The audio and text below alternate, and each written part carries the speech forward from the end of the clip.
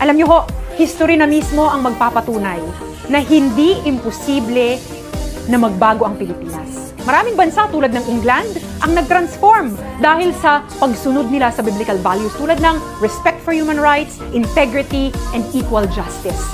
Huwag na ho tayong lumayo sa Asia. Isang matinding halimbawa ay ang bansang Singapore.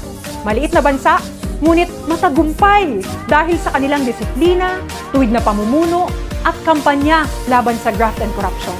Eh paano naman ang ating bansa? Sa paanong paraan nga ba magbabago ang bansang Pilipinas? Sa pamamagitan ba ng puwersa? Sa dahas? O protesta? Marami nang gumawa nito.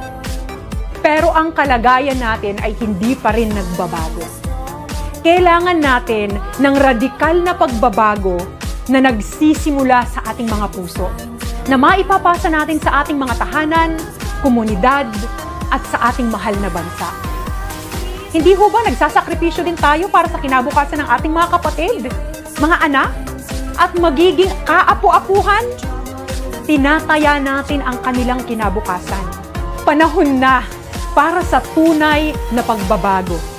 Pagbabago na mag-aangat sa bawat Pilipino. Pagbabago na magbibigay ng daan para sa bagong Pilipinas at maisusulong natin ito sa pamamagitan ng pagsali sa Christian Values Movement.